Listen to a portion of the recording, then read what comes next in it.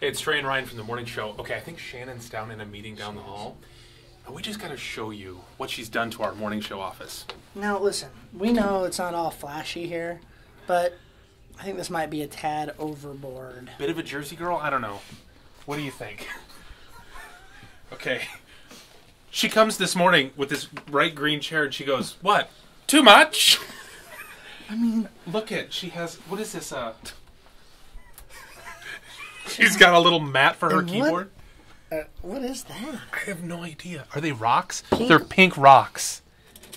And then, oh no.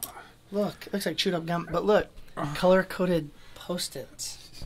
And this is actually a sheer fabric of some kind that's pinned up. What is going on? I have no idea. Do we have to talk to her about this?